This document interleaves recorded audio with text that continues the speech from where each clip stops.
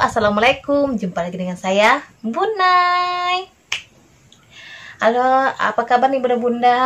Semoga sehat-sehat aja ya. Kalau Bunai, alhamdulillah udah mulai sehat, udah mulai fit, nah udah mulai cantik. Hmm, hmm, hmm, hmm, hmm. Ya kan? Ya siapa lagi yang kan bilang bunda cantik kalau bukan bunda ya? Kalau nunggu dari orang tak kena ada. Apalagi nunggu sama suami, hmm, mana ada dia gak pernah muji bunda. Jadi bunda memuji diri bunda aja ya. Oke. Okay? Jadi bunda ini ada mau kasih tips nih. Tips ini sangat ampuh sangat uh, bermanfaat sangat bisa dilakukan sangat bisa dilaksanakan. Mungkin di luar sana bunda-bunda lain ada tipsnya um, ya yang yang lebih ampuh dari bunda.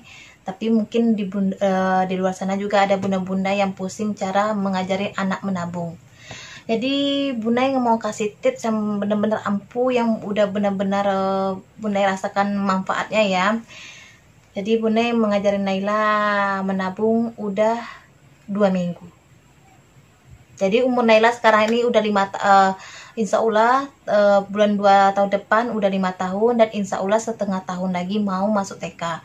Jadi Bunda sama Pak Su udah ngajarin dia menabung ya.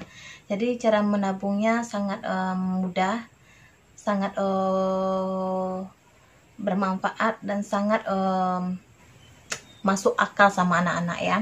Jadi Bunda itu sekarang mengajar Naila menabung dengan uh, pakai duit receh.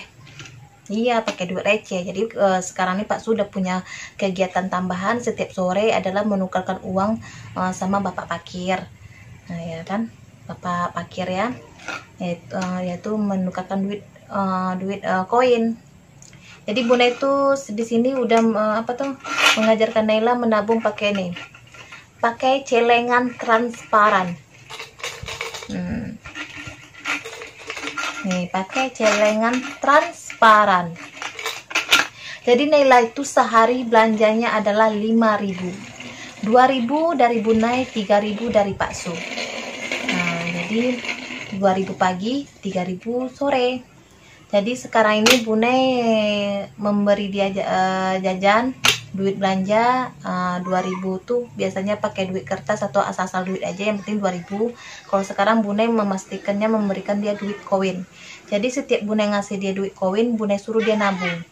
Awalnya awalnya sih susah sih karena kan dia Naila tuh alhamdulillah agak cerdik sedikit ya.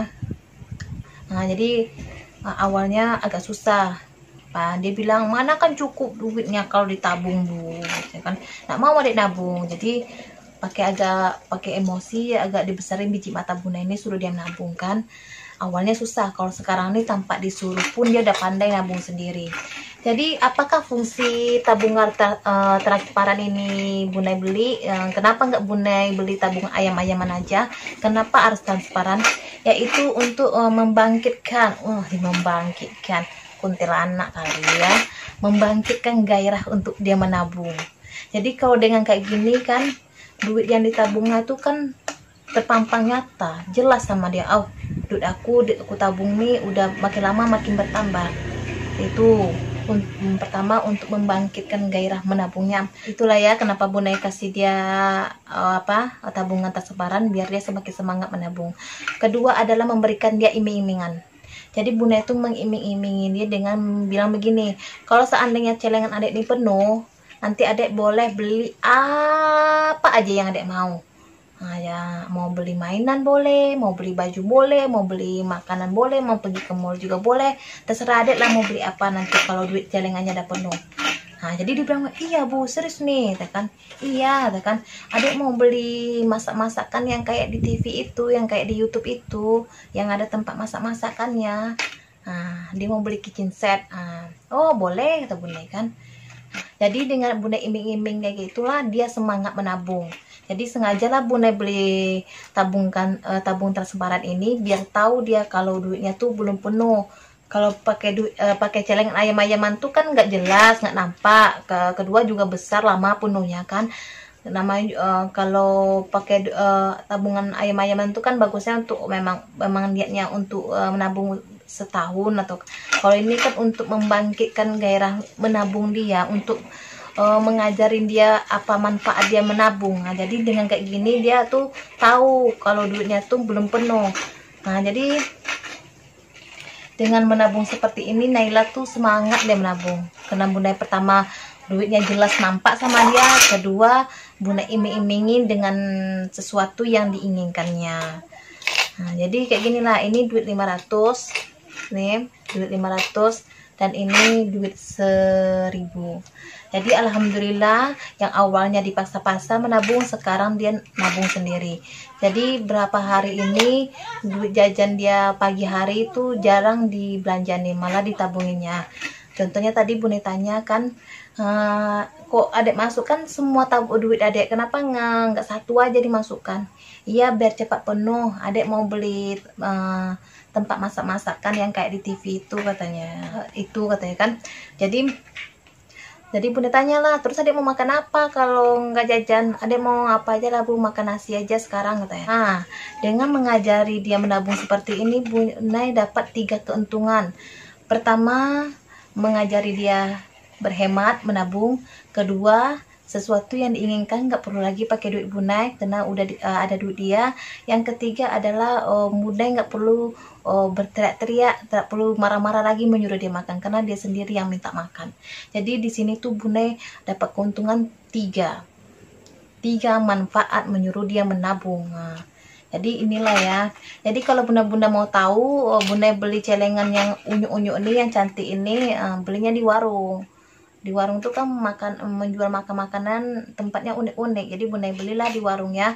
Yang kayak ini harganya 4000 yang ini harganya 2000 ini duit 500 dan ini duit 1000 kenapa ada dua tempat bunda? Iya bunda juga mau mengajarin sekalian uh, apa uh, apa oh, nilai dari duit itu. Kalau ini nilainya duitnya 1000 dan ini 500 kalau 500 tuh duitnya oh cuma dapat ini kalau duit 1000 dapatnya ini. Jadi mengajarin dia nilai duit ya itulah ya. Intinya begitulah. Nah, jadi ginilah. Semoga dengan tips ini Naila bisa menabung pakai duit. Kalau Bunda pribadi nggak bisa uh, menabung pakai duit karena Bunda suka mencongkel-congkel, suka menggesek-gesek. Jadi Bunda itu cuma bisa menabungnya pakai emas. Nah, eh, karena memang Bunda itu memang dari kecil tuh nggak pernah diajari nabung pakai duit. Hmm, gitulah ya cuman pula bunda mau nabung pakai duit kan sedangkan duit jajan bunda cuma cukup untuk uh, beli lontong setengah porsi kalau udah beli lontong setengah porsi di pagi hari dari pagi sampai pulang sekolah tuh bunda nggak jajan. Paling kalau istirahat cuman minum air itu pun minta sama ibu kantin. Nah gitulah ya. Jadi waktu itu, eh, waktu bunda kecil tuh nggak pernah diajarin nabung pakai duit. Memang eh, kehidupan orang tua bunda yang yang susah ya kan? Dibilang susah sih nggak juga. Dibilang pas-pasan lah ya. Cuma bisa untuk makan dan melanjutkan kehidupan aja itu aja lah jadi insya Allah dengan begini Naila udah pandai belajar apa ya menabung. Yang awalnya dipaksa-paksa sekarang dia sendiri yang ingin nabung. Biarpun uh, semangatnya menabung uh, dia nggak jajan. Jadi dia kalau dia nggak jajan jadi dia lapar dan dia sendiri yang minta nasi. Jadi kita hitung lah ya dulu ya berapa lah duit nih ya. Bunai mengajar nabung dua minggu kurang lah ya. Kita hitung ya satu dua tiga empat 4 5 6 7 8 9 10 11 12 13 14 udah 14 ribu duit eh, uh, seribu seribunya Bunda yang mengajar nabungnya oh, dua minggu kurang lah ini duit 500 jadi sangat bermanfaat ya tips ini Bunai. Nah, jadi bunda-bunda di luar sana yang pusing-pusing, yang tidak tahu cara apa mengajari anaknya menabung atau yang anaknya hobi belanja, biar kurang belanjanya, biar mau makan di rumah. Nah, coba deh tipsnya kayak gini. Sediakan tabung apa celengan yang transparan dan iming-imingin dia sesuatu yang diinginkannya.